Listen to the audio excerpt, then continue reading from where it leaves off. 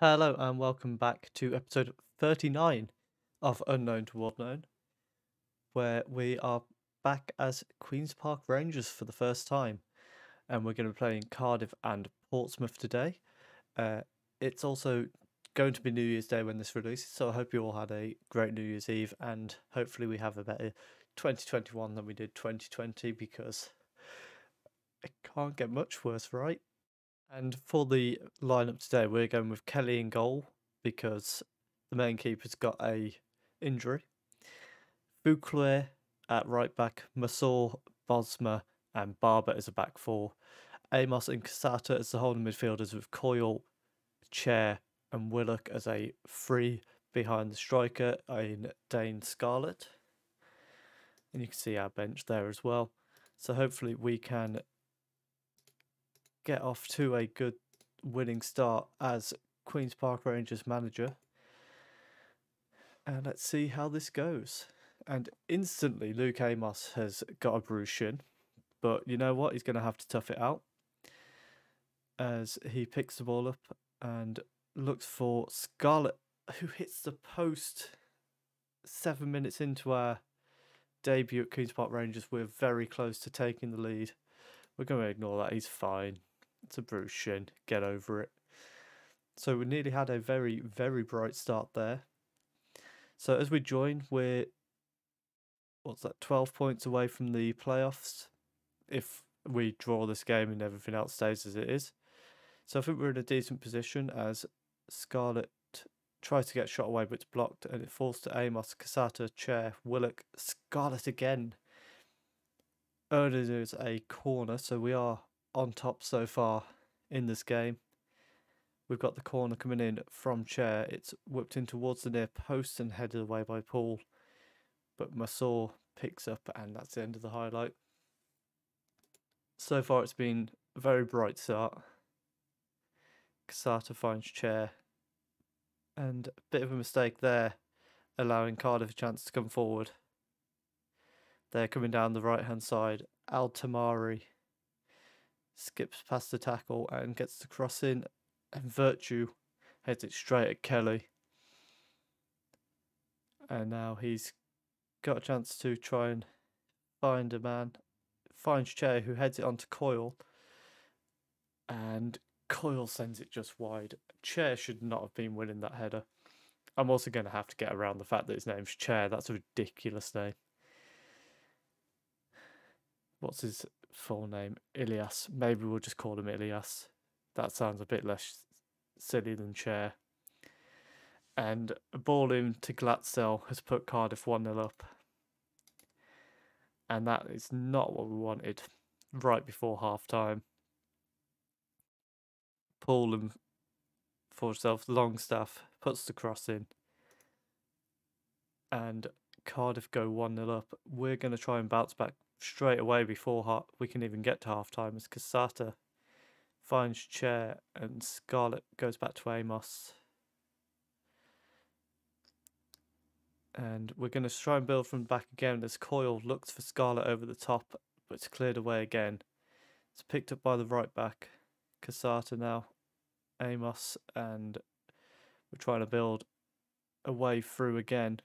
Coyle finds Scarlett, who blasts it under the keeper and puts us back to 1 1 just before half time in the final seconds of the half. And that's a very nice response. Would have preferred to not be 1 0 down at all. But if you respond like that, you can't complain too much with a very nice finish there. And surely now this is going to be half time as Robinson picks up the ball for Cardiff. Chair picks his pocket and plays the ball to Scarlett, who's actually on a break here. Ball falls back to Coyle, who plays it back into Scarlett. And all of a sudden, we're 2 1 up before half time. That was an incredibly quick end to the first half with three goals in Three goals in four minutes. Phenomenal end to the half, really. And we come in 2 1 up at half time. We're going to tell them not to get complacent, and we are also going to tell uh, Scarlett and Chair that we're happy with their performances because they were demotivated. We don't want that from our striker and attacking midfielder. Bosma is struggling with a pulled groin, so I think we are going to make that change. For Jens Stage, who can come on. Does he prefer to play on a certain side?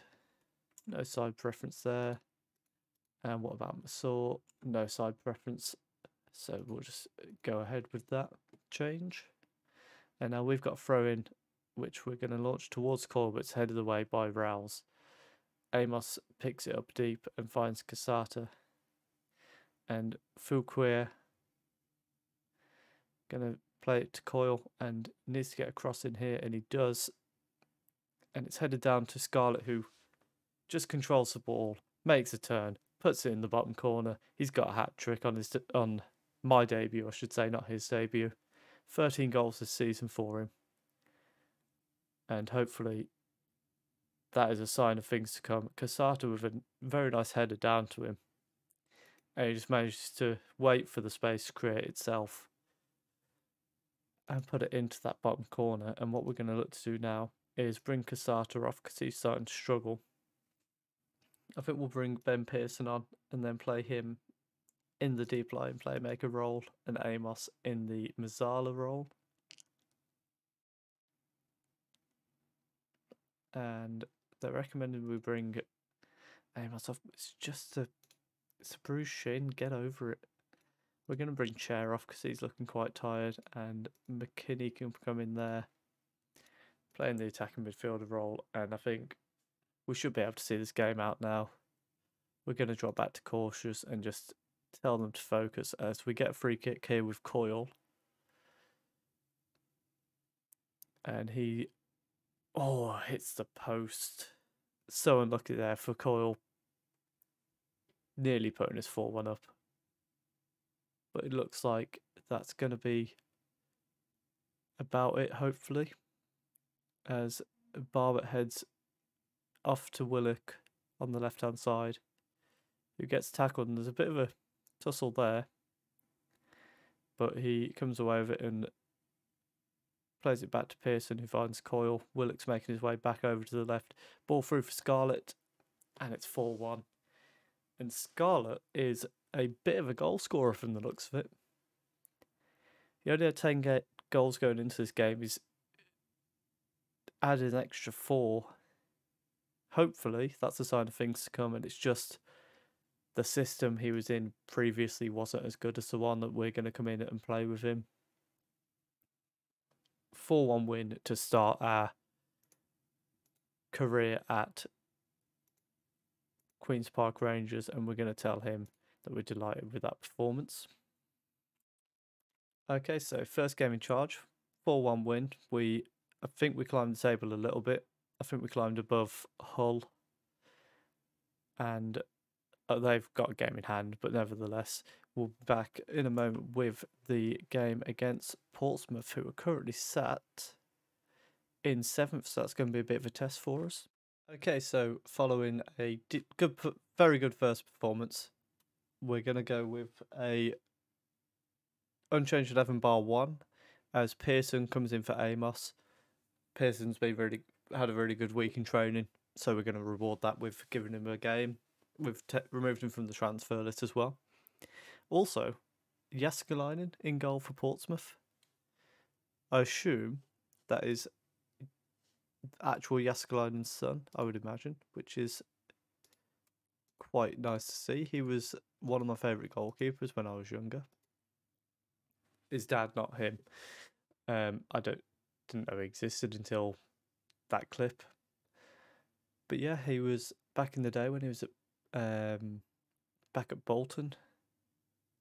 Don't know what it was about him. I just really liked him. Thought he was a great shot stopper. As we open the game, Casata and Falquier.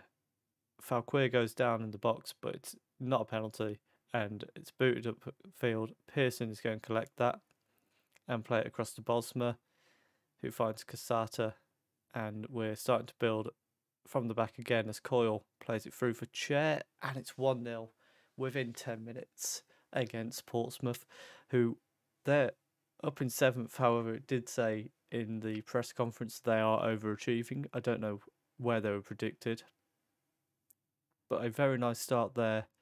Chair blasting it into that bottom left corner. And a fantastic start for us, and we're going to encourage them on the back of that. So, as it stands, they could drop down as far as ninth. I don't know how Reading are doing, so possibly further as Mawson hedged just wide for them. Was Alfie Mawson? It is as well. He was from uh, really big in Kev Kev's channel, um, Lollujo, as you may know. Yeah, he was a big player in his series. Uh, was it last year or the year before? I'm not sure.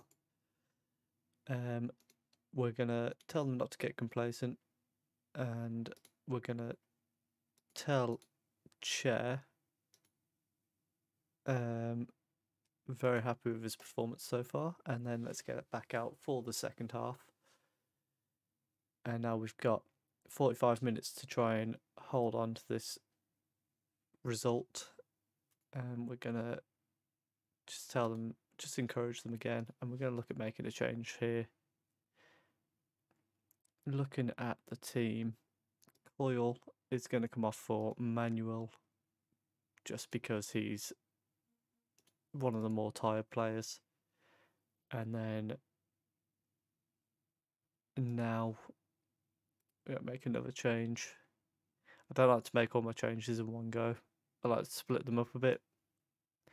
Amos is going to come off for Pearson, who I think has done a decent job today, but he wasn't very match fit because of the fact that he's been transfer listed and they've just not been using him. Amos does well to dispossess his man as soon as he comes on the pitch, and now Chair plays it back to Amos, who finds Casata, and they're just playing it between them now and sends it out to Victor Manuel, who plays it off to Falquir and a poor cross on the end of it, but Amos collects it and we remain in control of the ball as we work it back down to Falquir again. And this time a much better ball in, and Willock nearly got on the end of that, and it's cleared to Tween. And now he's going to try and break coming towards our left hand side. Casata does well to deal with that. And we're going to make our final change now.